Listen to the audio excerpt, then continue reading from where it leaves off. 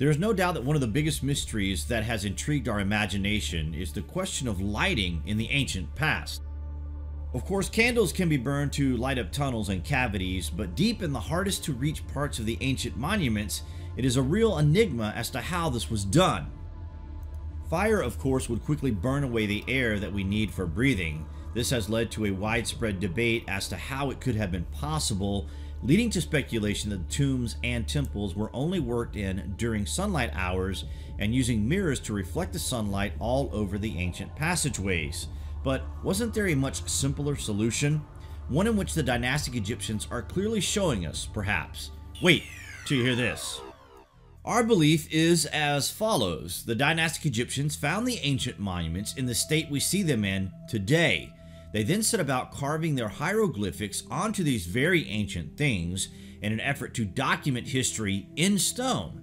But they were just as confuddled as to what these things actually are as we are. If you consider that they found certain technologies that they didn't know how to operate, and they simply repurposed these technologies as they broke and fell into despair, then you must seriously consider the gap in history is in fact between the cataclysm of around 12,500 years ago and the re-emergence of civilization in this region about 5,000 years ago. This means that the structures in Egypt were built before the cataclysm, and some have even speculated that the Great Pyramid is the top of an ancient survival bunker with the pyramid shape to guide a fire blast or even a flood, and there's evidence of both, but that is for another video. The point we are trying to make is in that of how the dynastic Egyptians lit the inside of these great structures that have hieroglyphics all over the walls. Note, we are referring dynastic Egypt and not ancient Egypt. The ancient Egyptians would be the pyramid builders, and we know absolutely nothing about them with the exception that they were marvelous builders and developers of technologies. Now, if they found something that had a switch of sorts that could be turned on and off, then they would understand how to operate this, right? Perhaps there was a power source like a battery, the Baghdad battery perhaps.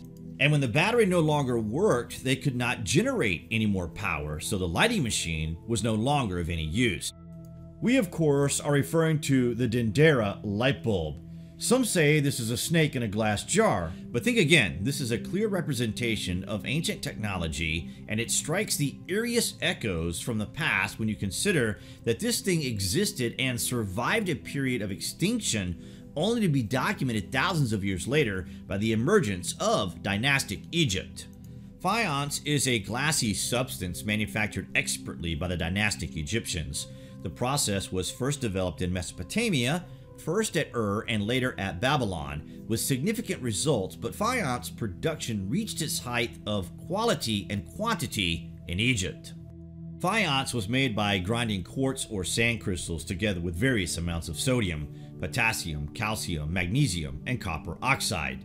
The resulting substance was formed into whatever shape was desired, whether an amulet, beads, a brooch, or a figurine, and then said pieces were heated. During the heating, the pieces would harden and develop a bright color, which was then finally glazed. It is thought that the Egyptian artisans perfected faience in an attempt to imitate turquoise or other hard to find gemstones.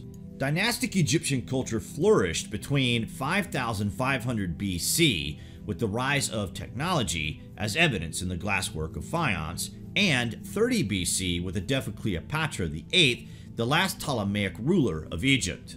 It is famous today for the great monuments which celebrated the triumphs of the rulers and honored the gods of the land. Referencing the gods could be seen as this civilization referencing a much, much older civilization, and the dynastic Egyptians do tell us that they superseded a much more ancient kingdom. The culture is often misunderstood as having been obsessed with death. Had this been so, it is unlikely it would have made the significant impression it did on other ancient cultures such as Greece and Rome, and in fact the obsession was not with dying, but rather the process of leaving the earth in a state of suspended animation. Hence, no mummies are found from the old kingdom of Egypt, yet millions are found from the new kingdom, almost like the new kingdom witnessed some sort of rapture and so tried to replicate what they saw.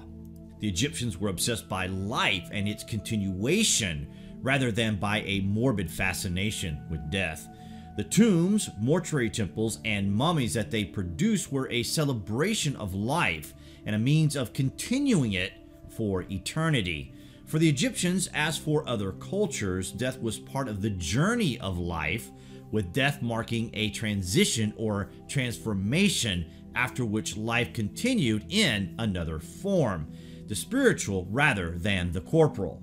If you consider that they are clearly telling us something like this, then you must also consider that our understanding is greatly flawed towards the ancient past. In fact, it's almost like we are just not getting it at all. Well, some of us are trying to better understand at least. You also have to wonder if these ancient technologies are known to be ancient technologies by the so-called elite of society today. Look at the Edison-Tesla struggle we see that now as good versus bad to a certain degree, but also consider that if these men knew of light technology from the ancient past, then how did they acquire their knowledge? Of course, Mr. Edison is widely regarded as a key figure in the development of the light bulb, and Tesla now famed for lighting up the entire modern world. But if these things had already previously existed, then how did they know to recreate the past inventions? Were they aware of the Dendera light? If they weren't, then this is one hell of a coincidence, is it not? Consider the Akashic Records. The Akashic Records are a compendium of all human events, thoughts, words, emotion, and intent ever to have occurred in the past, present, or future. They are believed by theosophists to be encoded in a non-physical plane of existence known as the etheric plane. Nikola Tesla mentions this plane when he states the following My brain is only a receiver. Within the universe, there is a core from which we obtain knowledge, strength, and inspiration. I have not fully penetrated into the secrets of this core, but I know that it exists. Could it really be the case that everything that has ever been will always be? If there is a connection with the Dendera light and the modern world, then we must consider that the ancient world, say 15,000 years ago, was just like our cities of today. If this is the case and the reset happened 12,500 years ago when the earth was cleansed to start over, then we must heed the warnings of the ancients. We have told you guys before about the astronomical clock at Giza. This is the countdown to the next cycle. These are 26,000 year cycles that starts and stops with the Great Sphinx aligning with the star Regulus. The architecture of Sphinx points towards the critical astronomical cycle of our planet. Facts say that each star in the universe moves one degree in every 72 years, and it takes 26,000 years to complete an orbit of the planet. The constellations of zodiac locate the Earth in the universe, so if we link the constellation and Giza, we will find a great message hidden in this connection. Four angles of the pyramid represent the four signs of the zodiac Taurus, Leo, Scorpio, and Aquarius. In the ancient world, Scorpio was represented by an eagle and Aquarius by an angel. These signs are carved on the front walls of this architecture. These four signs are used to be called as the guardians of the heaven. These stars are a constant distance with respect to each other and hence can be used as the measure of finding directions. Sphinx is a symbol of angel Leo axis of the pyramid, a human head on lion's body. Giza is a great astronomical clock of our planet, whose dials are the four constellations, and the head of the clock is represented as a sphinx gaze that turns around in every 26,000 years. But how do we know when the cycle begins? The answer is the bump on the sphinx chest which is also known as the lion's heart by Arabs.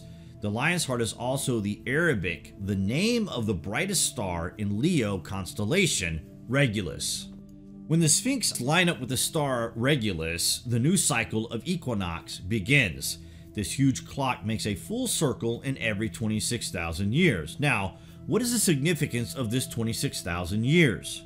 Many archaeologists believe that it indicates towards the cycle of destruction and rebirth by water or fire, and this is why we can't explain the Giza Plateau, because anything that was not built to last was destroyed. Giza is telling us to prepare, but it is also telling us that the only way of doing this is also to unite, and perhaps this is why we are making advancements into space exploration. Perhaps it has literally been done before. Who knows? Just a theory, remember. There is very little doubt that what the Dendera light bulb represents was in fact ancient technology. We are clearly seeing wires and volt symbols that represent electricity. We clearly see a power source as if it is plugged in, and we also see huge people holding these things. Look at how big these were actually. Why are there bigger people holding it with the smaller people supporting it? It is a crazy relief, guys, and we of course would love to hear your take on what this represents. Dendera is very unspectacular compared to other wonders in the region, but there is a reason for that. The reason being that this is a dynastic Egyptian construction dedicated to the goddess Hathor with dynastic reliefs, but of course with the added twist of ancient advanced technology carved into the walls. This very unspectacular place then becomes a footnote in our understanding of the past. We may not have the answers, guys, but at least we do have the questions, and we intend to ask those questions until we start to understand these things more clearly than we do presently. Comments below, and as always, thank you for watching.